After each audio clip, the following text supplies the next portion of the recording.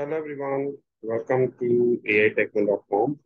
My name is Sumit and this is my second video in setting up and configure virtual machine player or VMware on the system. So if you have gone through my previous video where I explained how do we download and install virtual machine or VMware player or Windows 11. If you haven't, I will share the link in the description below please go through that. So this is in the continuation of that. This is the second video in continuation of the first one. And in today's video, I will be going to demonstrate you, I'll show you that how do we download and set up an operating system on Windows, uh, Windows 11 operating system on a VMware. Now there are two steps. Number one, either we can download a fresh installation, a fresh win Windows operating system Windows 11 ISO file, or else we can download a complete operating system, a ready-to-use ready-to-use virtual machine with pre pre-configured, pre-installed OS. So either way is fine. The difference between both of them is if we go with the first option, where we'll be going to download the uh, where we'll be going to download the uh, Windows operating system ISO file. There we have to reinstall everything. We have to reconfigure the operating system. We have to install the operating system from the scratch. And also like the way we used to set up an operating system on our main system, main machine. So that is first way. Second method is we can directly download the uh, the VMware file, uh, ready. Uh, you can say the pre-configured VMware file, and we have to simply open that VMware file in our virtual machine player. So I will be going to show you both the methods. How can you do that?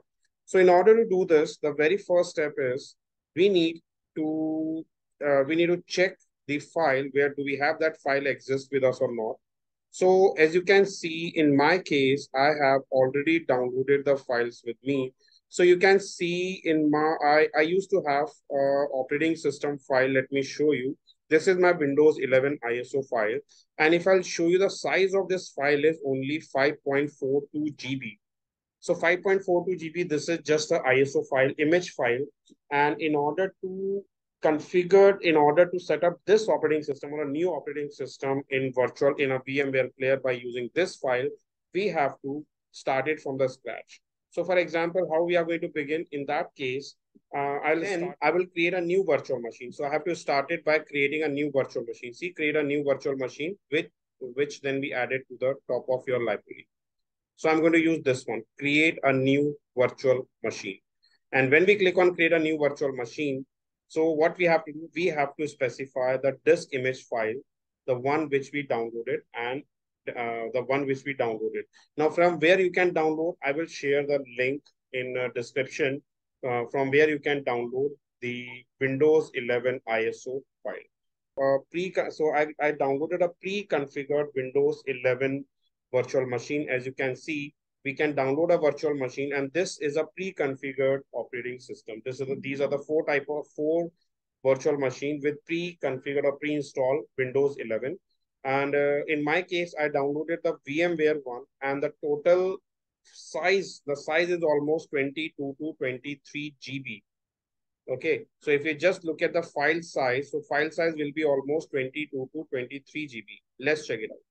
So I'll just download here. This is the virtual machine and you can see this is the file I downloaded and let me open the properties. Let me open the properties. So this is a 23 GB file. And what I've done, I expanded this file here. This is my file and I got these two files like Windows, uh, this one. See this, it's a disk image file with pre-installed, pre-configured operating system. So I will be going to use this option because using this method, this saves the time. This switch to my virtual machine, navigate to my virtual machine, and I click on open a virtual machine. And when I click on, see it says open an existing virtual machine, which will then be added to the top of your library. So I click on open a virtual machine. And from here, I'm going to select Windows DV, uh, Windows Dev 2308 EVL. I select this and click on open. So let's see the steps. I just click on open. Name of a virtual machine. I just set it as Windows 11. And the location. You can see the storage path of the new virtual machine, C drive user, Sumit document, virtual machine and Windows 11. If you want to change the location, you can do that. Else we can continue with this. Click on import. So it will begin the import and it will take time to set it up the virtual machine, but it takes less time as compared to this one, where, like will when where we start the where we set up a new virtual machine from the beginning. So we don't have to set up. So what we are doing right now, we will be opening an existing one. So you can see it's importing the Windows 11 file. It takes time. So you can see the process has completed successfully and now we are getting a Windows 11 operating system added in this VMware Workstation 17. So let me click on this and uh, we can click on play virtual machine. But before this, I just wanted to check one thing. So I click on edit virtual machine setting. So I click on edit virtual machine setting and in processor, we have to uncheck this. Don't forget to uncheck this virtualization engine because if you don't do this, then this virtual machine, uh, VMware will not allow you to start your virtual machine, to open your virtual machine. So you, so you have to uncheck that out. And now when you click on play virtual machine, it will start your operating system. See this, your operating system will start setting up or configure in this. So basically our operating system gets started into this virtual machine. So now we have successfully set up a new operating system in a virtual machine uh, without installing from the scratch only by using okay only by using the existing virtual machine ISO file for window which are with pre-configured Windows 11. So let it let it start because it is starting very first time, so it will take some time to configure.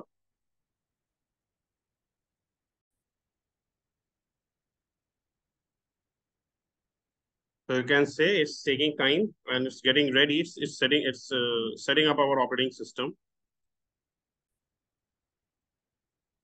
So now you can see my system is setting up finally. And uh, once it is ready, as you can see, once it, once it will be ready, I will be able to use the operating system in my virtual machine.